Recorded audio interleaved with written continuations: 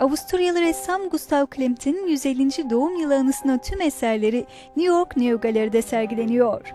Gustav Klimt'in şimdiye kadar hiç sergilenmemiş eserlerinin de bulunduğu galerinin kuratörlüğünü ise Renee Price üstlendi.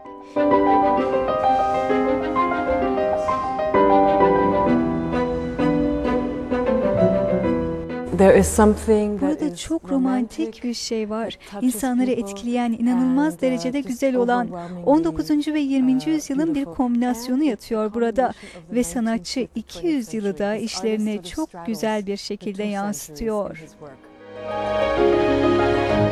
Klimt'in akademik yıllarından çizimlerin de gözlenebileceği sergi, sanatçının hayatı boyunca kadına bakış açısını da irdeliyor.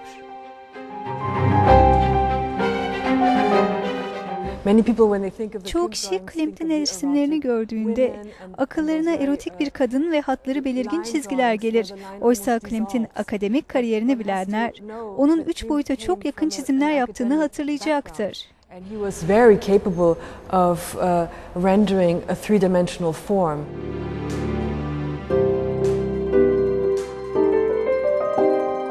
Gustav Klimt'in 150. doğum yılı anısına New York New Gallery'de düzenlenen sergi 27 Ağustos'a kadar ziyarete açık olacak.